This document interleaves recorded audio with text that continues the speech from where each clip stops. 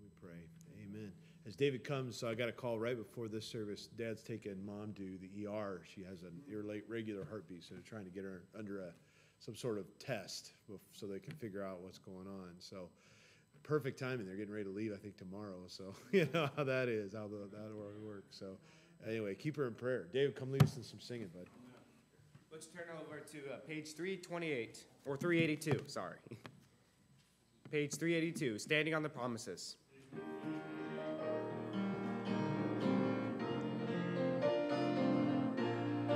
Sing it out on the first.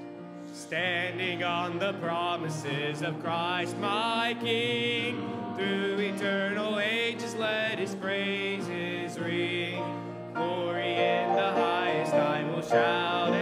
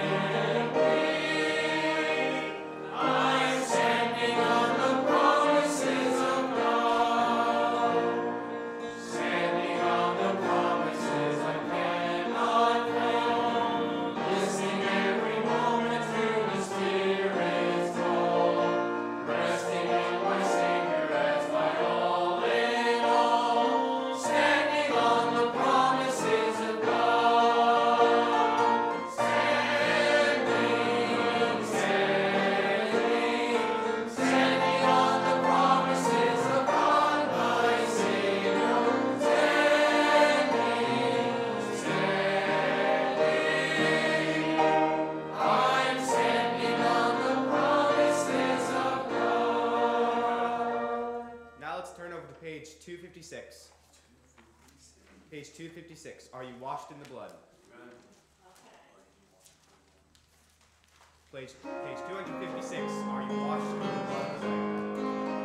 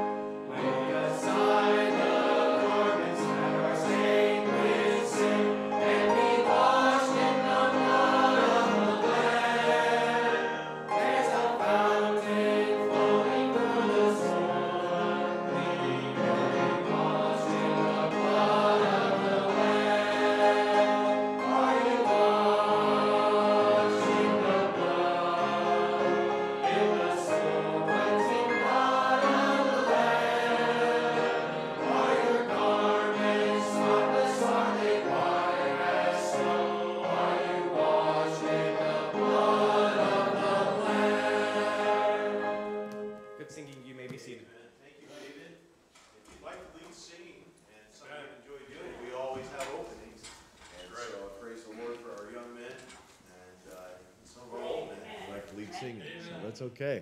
Amen. All right, just a few announcements, and then Brother Rob will come. We'll dismiss our teens to their class. Brother Rob will come and teach tonight. Uh, anyway, this week, pretty typical week. Uh, of course, uh, tomorrow we'll have our Bible study there in Snohomish, so I hope you'll join us for that. We just sent out, uh, we got to use our nonprofit postage for the first time, so it saved us $700. Uh, huge, so praise the Lord. Thank you, Uncle Sam. Anyway, uh, and so we were able to send out 5,000 invitations. This was uh, part of the money we received from Woodinville. Uh, we were able to send out 5,000 invitations. They'll go out uh, the end of this month, beginning of June, to the Bible study on Thursday nights. And so be praying for those as they go. Uh, very excited. We had a, uh, some, some of you know I went Sunday night, preached at Woodinville, and uh, just a great response. I've got four or five people who said, Man, we want to go door knocking, we want to help evangelize. And uh, they actually have two of the chaplains for Snohomish County Fire District 4, which includes Snohomish. Uh, two of the chaplains actually attend the church there. So uh, I don't know, I think the Lord's opening some doors. And uh, some of you know it's been a little discouraging as of late. Uh, just winter's hard, you know. It's and uh, and so I'm excited about what is coming. So be there tomorrow night, Thursday uh, at seven, and then of course Saturday will be outreach both here and in Snohomish. Um, and then Saturday night men's prayer meeting. Now, this Sunday is Mother's Day, so we'll have a special thing for all of our mothers, and we're looking forward to honoring them as well. And then uh, coming up, uh, the young ladies have their outing on the 17th, and then the ladies' luncheon is on the Saturday, the 18th. What, ti- what time is that? Is that at 11? Okay, 11 a.m. That's a great event to invite other ladies to. Uh, you will, you will, you will enjoy it, and so I'm looking forward to hearing good reports on that. And then, of course, teens, Silverwood. If you did not sign up or tell Brother Matt you were coming, uh, you still have an opportunity to go. It's just going to cost you 10 bucks more. All right. And so, uh, but uh, we paid for 11, 11 people to go. And, uh, and so if, you, if you're having a hard time, you say, I can't go because I just don't have the money. I do have people that have, have said they would be willing to help sponsor you. And so if you want to be a part of that, see Brother Matt, and uh, we'll make sure to get you on the list. And then there is a Memorial Day church picnic at the Boyces. So uh, I think Sister Christy brought a whole package of conies. If you don't know what conies are, they're these white I don't know. Yeah. Anyway, so uh, anyway, we're gonna have a great time. That's the most excited I've seen Brother Matt in church in a few months. Anyway, but it's good to have my wife back. Of course, she spent the last week there in New York, and she had a great time with her sisters. So uh, praise the Lord. Um, but anyway, that's uh, that's some of the announcements. Don't forget church camp. I know some of you have tried to sign up. If you're having trouble signing up, see me. I think we have an issue. I need to let Anna know. I don't think Anna's here. Anna's upstairs. But anyway, I think what happens is if you don't have a birth year on your uh, your profile in Planning Center, you can't sign up. We got to know what year you were born. So, and you can't change it. So it's really annoying. I don't know why why that is. So, but uh, if you if you'd like to, you say, well, Pastor, we don't have the money right now. What's most important is I just need to know that you're coming, uh, so we can buy uh, the the appropriate amount of food. Okay. So please, if you're planning on coming, let me know.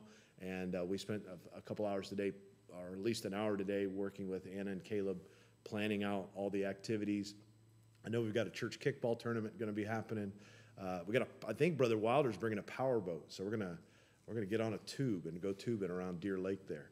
And so, yeah, amen. All right, I'm gonna make you sign a waiver for that one though. I am not getting sued if you uh, if you get launched onto the shoreline. Okay, so or into it, run into somebody else. So anyway, uh, but this camp's really nice, and uh, it's got actually it's got a big water slide. So uh, the, I know we'll really enjoy it. We'll have so, separate, separate swimming times for the, the men and the women, and uh, so we're we're gonna have a great time. Brother Rossiter is gonna preach for us. He's from a, a church down in Florida.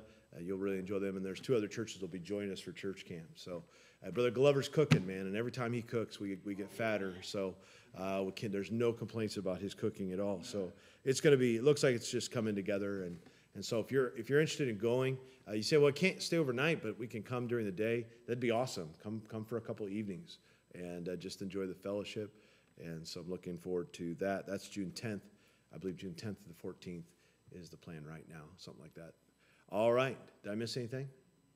Let's do this. Teens, you'll be dismissed to your class. Uh, and then, Brother Rob, why don't you come teach tonight? Sister Deanna, did they kick you out of your class? Wow.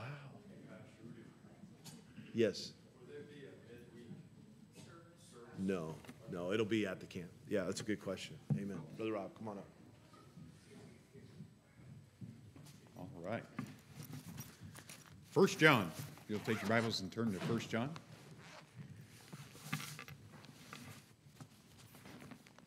Good to have you here tonight. I think what we're going to do is we're going to start by.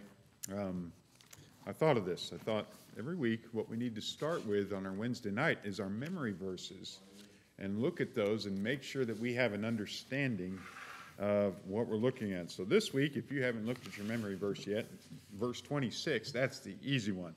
These things have I written unto you concerning them that seduce you. Got that one. All right, I got one. The other one's a little harder to get. But in order for these things to mean something to us, we want to figure out what is the message that God's trying to get across. And secondly, how does it apply to me? What's the application that we can have, and what, what's the um, things that we can learn from it? So, as we look at this passage, we first of all have to say, okay, what does it mean? These things have I written unto you. Well, you go back and you see what the message has been um, throughout the passage of Scripture, but I think particularly we've got verses 18 and following. So we look at verse 18, starting there. Little children is the last time, and as ye have heard, that Antichrist shall come. Even now are there many Antichrists, whereby we know that it is the last time. He says, They went out from us, but they were not of us. For if they had been of us, they would no doubt have continued with us. But they went out that they might be made manifest that they were not all of us. So he warns of the those that would seduce you. He's going to talk about this is the things, these antichrists. There, of course, we, we went into detail concerning that and talking about how they are opposed to the things of Christ. They're directly against, in opposition to Christ and the person of Christ, and of course, who he is and uh, his divinity and the, the, the fact that God became man and dwelt with us. And denying that fact, and the, we studied the idea of Gnosticism and the other the cultic ideas of that time is that there's a, there's a great divine force out there that we can tap into and, and uh, we get this, this deeper meaning and these deeper truths. And that's why he said, when we talked about the importance of the word, and I emphasized that over and over, logos, and the idea of what that meant. To many, the Greek, that meant that was an impersonal divine power that was out there that you could you know, subliminally tap into and grow in deeper in that way, but it wasn't personal. It wasn't. He said, the word that we're talking about, that person, the Logos, is the one that we've touched. Our eyes have seen. That's why it was so important that he went through all the physical aspects. He was with us and he dwelt among us. We beheld him, you know, of, of who he was. God with us. And uh, he, of course, then gave his life for us, and he wants us to manifest ourselves. So he gives this warning. Then he goes on to say in verse 20, but ye have an unction from the Holy One. And uh, we'll talk about that, that unction and that anointing and how those join together in verse number 27. But um, who is a liar? Then verse 22, but he that denieth that Jesus is the Christ, he is Antichrist, that denieth the Father and the Son. He says, Whosoever denieth the Son, that hath not the Father, but he that acknowledgeth acknowledgeth the Son hath the Father also. Let that therefore abide in you, which ye have heard from the beginning. If that which ye have heard from the beginning shall remain in you, ye also shall continue in the Son and in the Father. And he concludes with this thought, and this is the promise that he hath promised us, even eternal life and the joys that go with it. So, with that, he says, I've given you these truths, I've given you these warnings. Don't let them seduce you. Be careful of these things that I've written unto you concerning them that want to do what? That idea of seduce means to lead astray. To lead astray, to draw out. And this idea is the act then. It refers to those that would seduce them from the truth or lead them into dangerous error.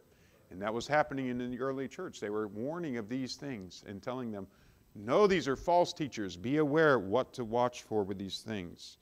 So he says, watch for them that would seduce you. I think of that verse and when it means to draw aside and to, to draw away from. What are we looking for here? Well, we're looking for that relationship with God, that walk with God, that fellowship. I'll use that term fellowship. We're, we're guarding our terms there. But the idea of a relationship was through the Son, He, he provided that. But that fellowship, that walk with God on a daily basis.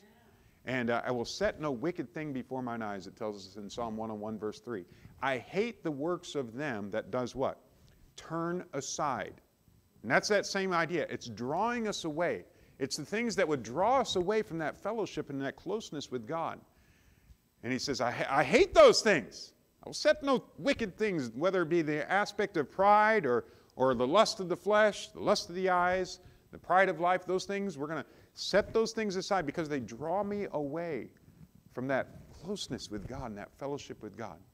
Well, I had some of that this morning. That was so exciting to have that. There's a, boy, my work situation has been so much stress. You know, there's so much things to figure out, and oh, trying to keep balanced and, and things I'm not comfortable with and I don't know, and, and I'm trying to figure it all out. And with that, it keeps me up at night so often. And I've just been trying to practice of, and when, I, when I'm conscious of it and I realize that I'm thinking about work again, oh, I'm so tired of this, I think, okay, I'm going to focus on a person to pray for.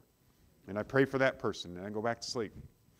And uh, then I start thinking about work again, and it comes, and when I'm conscious of it, I think about somebody else, and I try to pray for them and try to do those things. Well, this morning, I was, you know, the turmoil and all the things, and this verse came. The verse came Be still and know that I am God. What a wonderful truth. And this, you know, I'm getting ahead of myself. We won't get into chapter 3 yet. But uh, when we look at chapter 3, that idea of we are the sons of God. Behold, what manner of love he hath given us.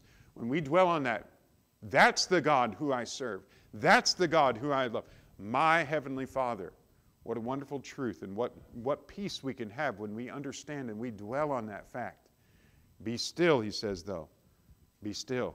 What does that mean? Put those things aside. Put those fears and those turmoils aside. Lay them off to, the side. Put on Christ. Dwell on Him. Recognize your position in Christ, what you have. We're a child of God. And with that, so I, I got sidetracked. Back to verse number 27. Now we see verse 27. So, verse 26, we understand these things have I written unto you concerning them that seduce you, that would draw you away from that fellowship and that closeness with God and that understanding of who He is. But, he says, the anointing which ye have received of Him abideth in you, and ye need not that any man teach you, but as the same anointing teacheth you of all things, and is truth, and is no lie, and even as, as it hath taught you, ye shall abide in him. Now that's, you know, like we say, it's kind of wordy. So you think of the words that are through there, but they have meaning. These words have meaning as we think through here. So the first thing, we see the anointing which ye have received of him abideth in you. All right, help me out as we're thinking of this. What do we have? What do you think that anointing? We've, we've covered it in the past, but let's think about this. What is this anointing which you have received of him that abides in you? The Holy Spirit. You can't get any closer than that. That's, that's exactly what we'd see there. The anointing, we saw that with the unction, that idea that was back in verse number 20. That unction is that, that divine calling that's given there, that anointing. And we saw that anointing illustrated in the Old Testament. That was for a purpose, a position. There was a, a calling that was there. And he says, As you, as a child of God, have been given the Holy Spirit. And what will the Holy Spirit do? When He's anointing you, what will He do? There's a number of things. Let's think about the Holy Spirit for a moment. What does He do for us in our lives? What's He given for? Go ahead, Miss Debbie. I see you.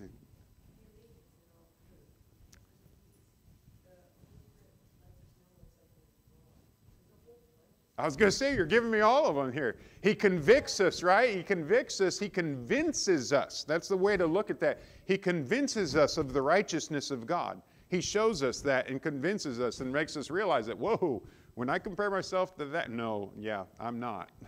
I'm not all that. I'm all that through Christ and what He's done. But He also will guide us into all truth, as it says in the book of John, as He talks about that. He will guide us into all truth. For He shall not speak of Himself, but He will show you things to come. He's going to speak of Christ. But He tells us He's going to guide us in truth, convict us. But what's He called? First. He was called this very first the Comforter. He's the Comforter. Isn't that exciting? Because we all have struggles, don't we? We all have things we, you know, you know, sharing about work. Work can get to you. And what do you have when you reflect on that and say, I have it all through Him? I have the peace that passes all understanding through the Holy Spirit, the Comforter that is there. So He is there. So moving on. The anointing which ye have received of Him abideth in you. It's there continuously with us. He's not going to go away like He did in the Old Testament. Then the Spirit came upon them and then He would depart. No, He's within us. It's not how much we have of the Spirit. We have all the Spirit that we're going to get. He's going to stay with us. It's how much the Spirit has of us. It's how much we surrender to Him and allow Him to guide and do these things in our lives. Going on, he says, And ye need not that any man teach you. Now, that can be taken arrogantly, can it? Can't teach me. I've got it all figured out. no, of course not. What is he talking about here? And that's important to understand the context. The context is it's not this deeper learning experience that I am so much higher in learning and I have this. In fact, you poor peasants can't know the scriptures. You can't know those things. You have to be explained all of it to you. And isn't there religions out there that don't encourage their people to read the Word of God? They say, no, no, don't, don't, don't read the Word of God. No, you need it to be explained. We will explain it. Warning, that's a false religion. If they're not encouraging you to get in God's Word, isn't that what Paul said? He encouraged the Bereans. He was excited. Why? They wanted to prove what he said to the Word of God. It was important to them that they tested it with Scripture. And that's what we want to do in this, in this church and in, the, in this um, at Faith Baptist. Encourage you. Get into God's Word. There you will find the answers. He's given that through us, and He has given us the Holy Spirit to guide us into truth. It doesn't mean we, doesn't, we don't have explanations and we have things that we can learn from it. The key is we have the Holy Spirit within us that was to, given to us to guide us into all truth. He will guide us, give us life through the Word, not in contradiction to the Word. There's the key. It's not above and beyond or in contradiction to the Word. He will reveal what's in the Word and how it then can apply to us. He'll take God's Word and apply it to our lives. That's what the Spirit can do for us. So he says, Ye need not that any man teach you, but as the same anointing teacheth you of all things and is truth. There's what the Spirit is called to. He's called the Spirit of truth. He will guide you into all truth, it says. And is no lie. It's not a lie. The Gnostics, as we said before, they had claimed they had a deeper truth. They had the divine revelation apart from the Word, and it tapped into the divine cosmos. No, no, no, no, no. That's not true. The truth is, we have the written word, the logos, logos, by which we can be instructed personally and learn what it means then as the end to abide and continue in Him. And He says at the end, and even as it hath taught you, ye shall abide in Him. So as we memorize this passage and we think of this this week, let's let the words sink in. Because we've got to get them up here first. But it can't stop there. From the head to the heart. From the head to the heart. And that's when it becomes personal and real. So let's go to Lord in prayer and then we'll continue on our lesson this evening. Father, we do love you. We do thank you so much for your blessed word and the, the promises that it gives, the, the lessons, the instruction that it has for us. Lord, I pray that you would give me the words tonight to say and that you would guide us into your truth and help us to understand our position in Christ, our position in God as sons of God, both what that means now and in eternity to come. In Jesus' name we pray. Amen. Last week we had looked into chapter 3. We got down into chapter 3 and verses 1 and 2, and we had started into that, and it says, Behold, what manner of love. What manner of love. What love in both kind and degree. What manner of love he hath given to us? Well, he loved us while we were yet his enemies. He loved us while we didn't deserve it. That was the kind of love. He gave sacrificially. Of course, the degree, he gave his life in a terrible, most horrific way that we can imagine. He did it for us. And uh, what manner of love he hath bestowed upon us. And how did he show it? He gave us that relationship. He says, I've, I've given myself to make you from a son of the devil, basically, you're children of the devil, now into the family of God, to bring you into sonship and all that that pertains. We talked about the privilege to receive provision, the privilege to receive protection and uh, training, the access that we have to our Heavenly Father. We talked about all these things last week. And then we have the, the privilege of an inheritance, the inheritance that we have, but all this is because of Him, because of His father to son relationship. And it was all at no charge to us, but it cost him everything. You know, we think of that. It, no charge. Oh, there was a great charge. It just wasn't put on our account.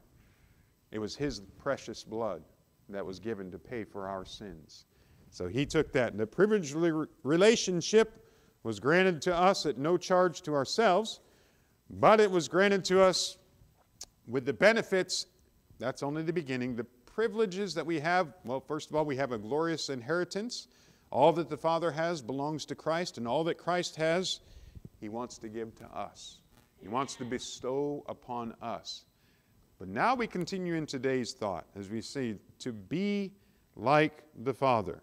To be like the Father, it says in verse number two, it says, Beloved, now are we the sons of God, and it doth not yet appear what we shall be, but we know that when he shall appear, we shall be like him, for we shall see him as he is. And every man that hath this hope in him purifieth himself, even as he is pure. Purifieth himself, even as he is pure. How are we pure? Perfect, blameless. How? Because his righteousness is covering my sin.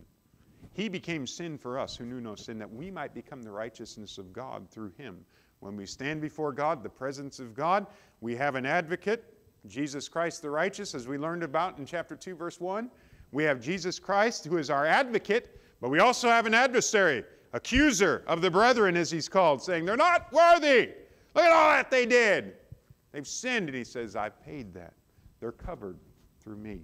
I've paid that price.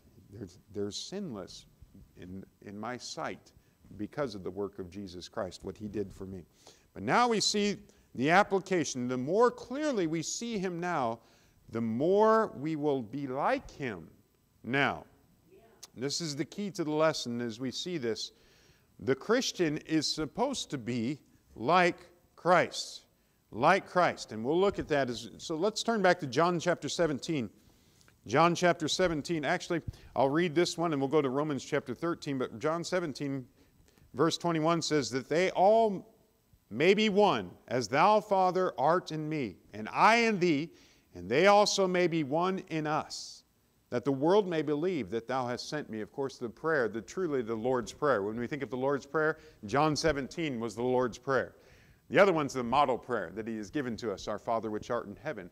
This is the Lord's Prayer as he lifts up his heart to his heavenly Father and shows us what it's like to intercede on the behalf of others.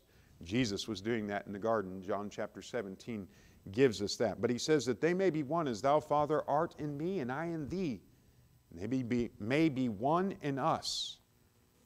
Romans 13, 14, though, we look at this. It says, But put ye on the Lord Jesus Christ, and make not provision for the flesh to fulfill the lust thereof.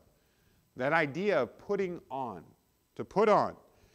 The phrase put on in our language may be used as an expression to put on a front or an act or a, a show, to put on. They're putting on.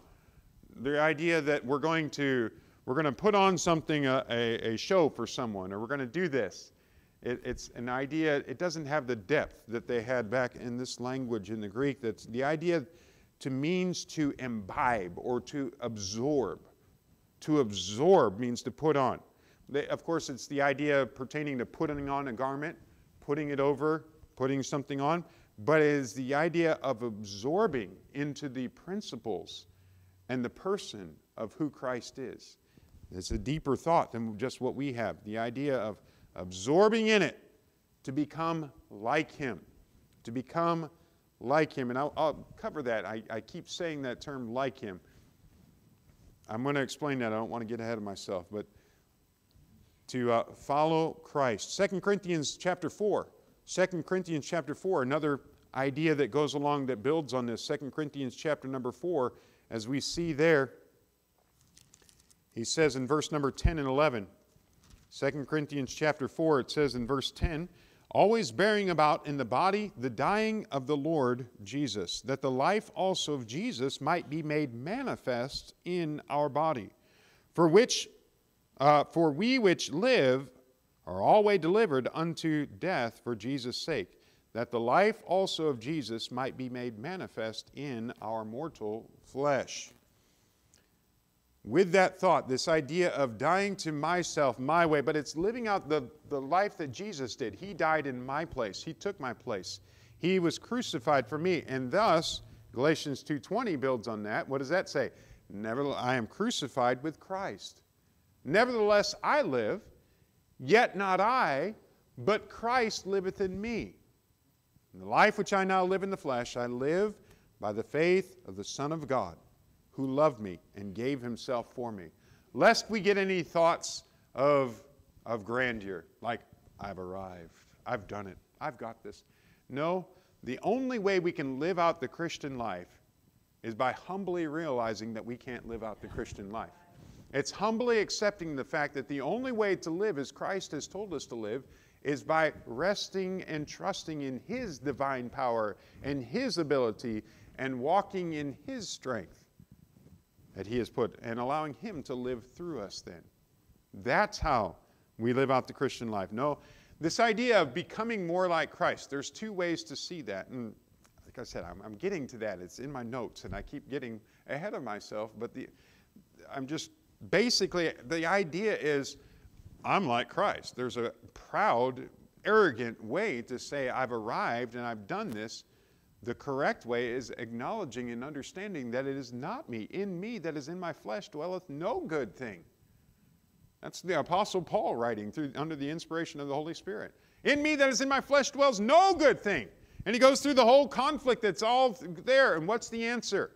But I thank God through Christ Jesus. that's the answer. It's through his strength and his ability that we can have strength.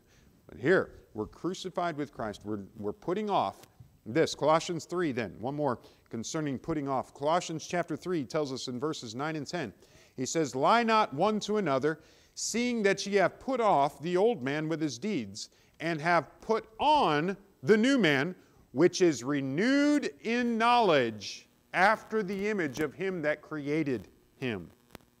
There you go. Put off the old man with his deeds, and have done what? Put on the new man. But how? How? Follow on that verse once again which is renewed in knowledge after the image of him that created him. We get to know him. We know Christ. We study him. We learn about him. Who is Christ? Who is Christ? He is the Word. In the beginning was the Word. The Word was with God. The Word was God. Jesus Christ. This is how he makes himself known. And since Jesus is God, we see, secondly, God's essential nature is one of holiness. He's emphasized that through the book of John, 1 John, the idea of be holy, walking in holiness, and uh, walking in truth. But he says here that then holiness is defined most simply as being like God. Being like God. Now, that's what I meant. Not God-like, like Satan. I will be like the Most High. I will be as God. Like Adam and Eve. You can say, oh, God's holding you back because you will be like him. Oh, well, we want to be like him in ways that he didn't design for us to be. He didn't want us to have the knowledge of evil. He didn't want us to do these things. He didn't plan that. Yet we will be like God because we will know these things. No, that's the self recognition. It's not the manner of replacing God or even mimicking God. You know, Pastor used the illustration. I always like that. The idea of be like Mike. That was back in the 90s. You know, be like Mike. That was Michael Jordan. It doesn't matter how much I jump and do all these things. I'm never going to dunk the ball from the free throw line or, you know, I'm never, well, I'm never going to touch the rim anymore. I can't even touch the rim. Yeah, it's not going to happen. Uh, be like Mike. Try hard. Aspire harder. What am I going to do if I try to be like Mike? You know, using the illustration of basketball, Michael Jordan. I'm going to get discouraged if I truly that was my goal because I'm going to try and try and try and realize I can't do it. It's impossible. I'm, not Mike, you know, I, am not going to do that. But in the spiritual realm, exactly what that is. Oh, I'm going to try harder to be like Christ. I'm going to work harder at being like Christ. No, it comes to a submission to Him that says, I can't, Heavenly Father. And He says, Come along, son. That's why I say, Take my yoke upon you because I'm on the other side. I'm with you. Excuse me. And I'll walk with you. And I'm going to be your strength. I'm going to be your source. I'm going to be your hope and your comfort and all these things that you need. But I want you to constantly be looking to me and trusting in me. not this attitude. So, in that sense, we are reflecting Christ. We reflect what He's given to us as it comes inwardly, and we receive the Word of God, and we draw close in fellowship with Him. Then we can portray Christ. Then that's the idea of what Matthew 5 16 is referring to when He says, Let your light so shine before men that they may see your good works and glorify your Father which is in heaven. It is reflecting the Son. It's reflecting His holiness and His goodness through our life, not to lift up self or not for any of look at how good we are and look at how much we're like, you know, how God-like we are. No, not at all. It's this is what Christ has done for me. Look at how He's changed me, and I can, and I can be a blessing to you. So with that, looking at some verses there concerning that, he says, "How are we going to do this? We're to be renewed in the spirit of your mind." Be renewed in the spirit of your mind. We find that in Ephesians chapter 4, verses 23 and 24. Ephesians chapter 4, verse 23 and 24. And be renewed, he says, in the spirit of your mind, and that ye put on the new man, which after God is created in righteousness and true holiness. It's after God. It's created in righteousness. It's created in His holiness, not self righteousness, not the righteousness of the Pharisees, not the righteousness of those, the religious of that time. It's His righteousness, His holiness. He wants us to be partakers of His holiness. We find that in Hebrews 12:10. He tells us, when you're chastened, it's for a purpose, it's for correction, it's to guide you so that you can be partakers and learn my holiness. But 2 Peter chapter 1 verse 4 it says whereby are given to, unto us exceeding great and precious promises that by these ye might be partakers of the divine nature. Not in a pride sense and we must emphasize that. It's a humility before him, having escaped then the corruption that is in the world through lust. Going right along with what John has said here in 1 John under the inspiration of the Holy Spirit once again.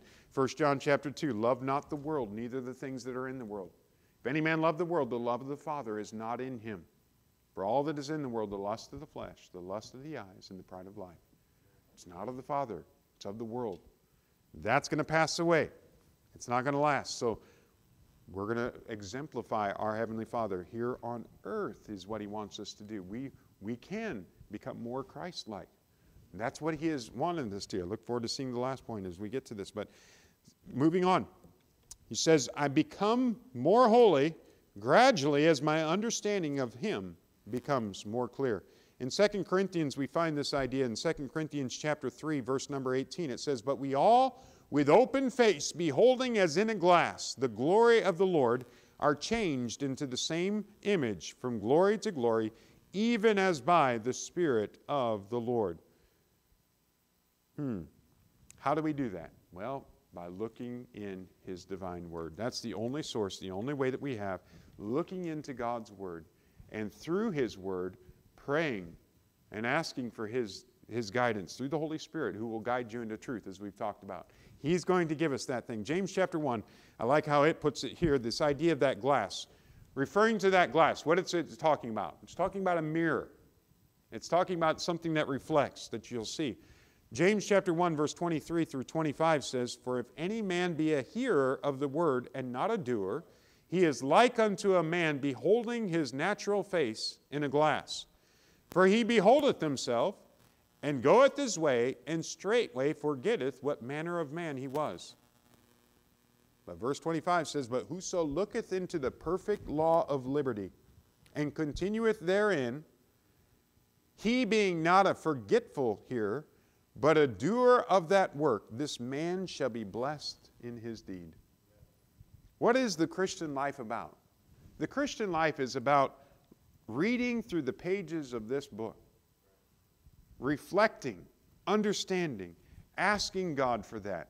Open now mine eyes that I may behold wondrous things out of thy law. That's our prayer and our heart's desire. Blessed are the pure in heart, as he preached there, for they shall see God. That idea, that, that, that's our desire. How are we going to see God?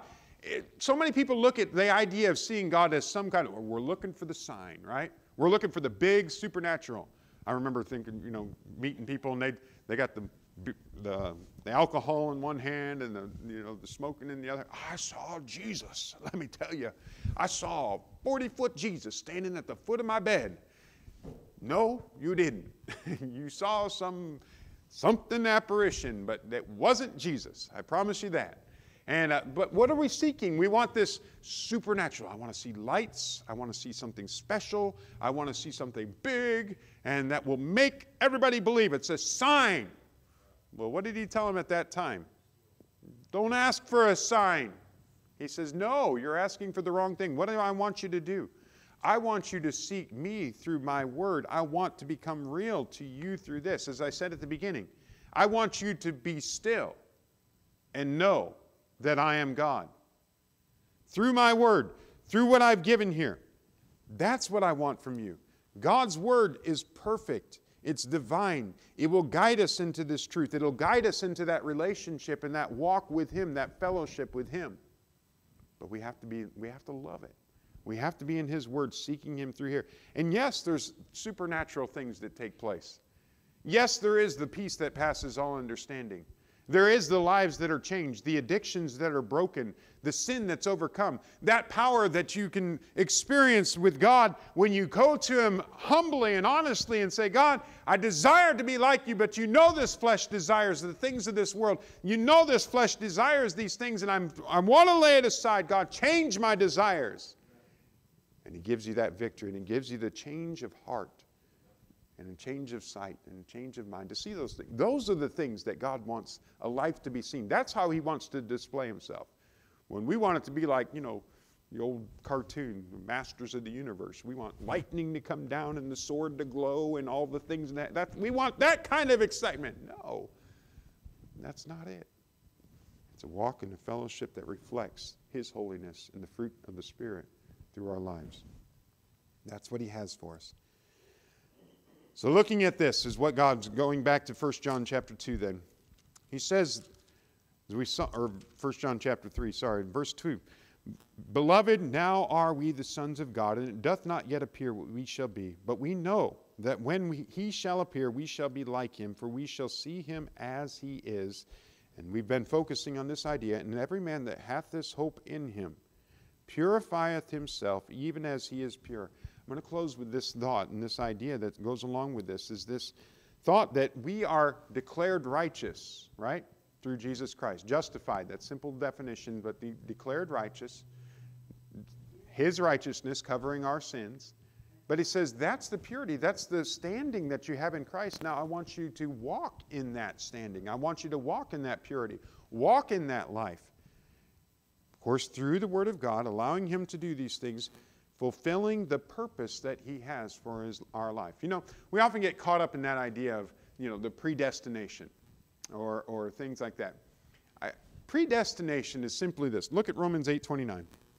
Romans chapter 8, verse 29. What is predestination?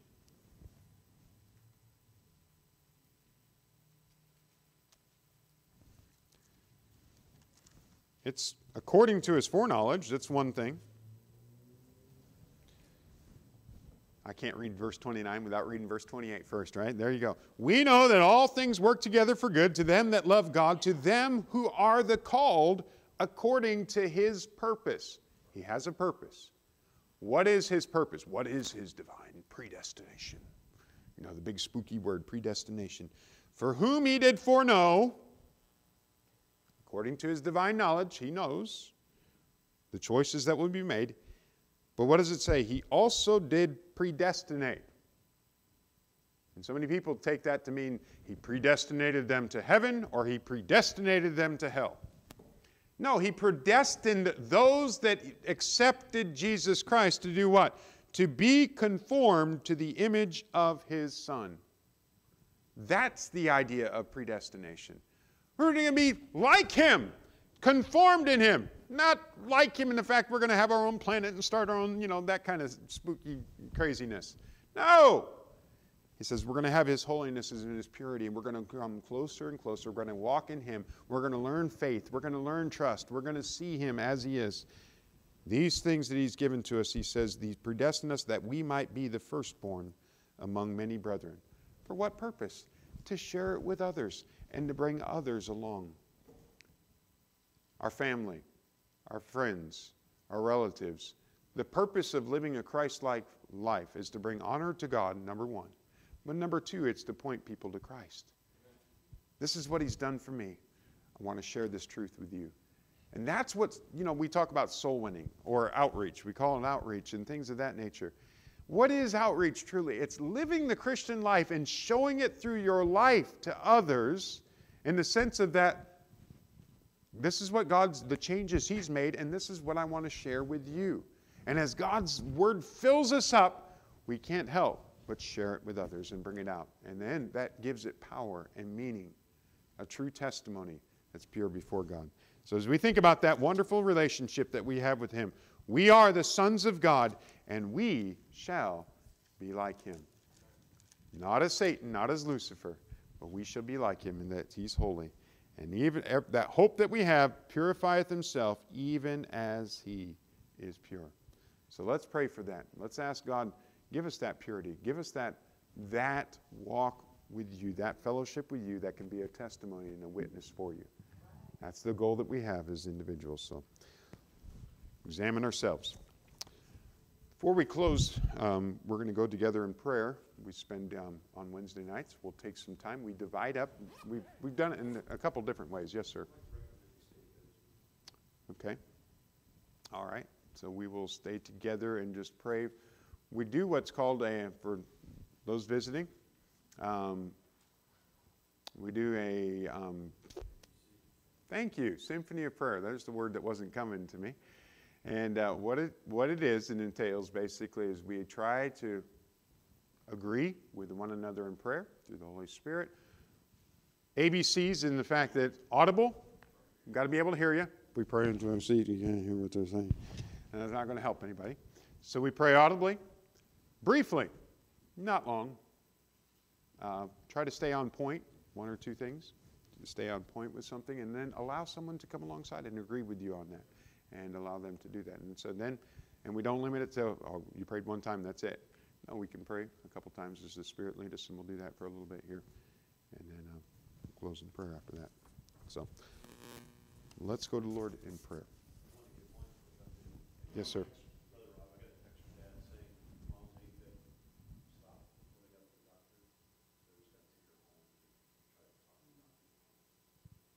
Okay. So she's back home. So, all right.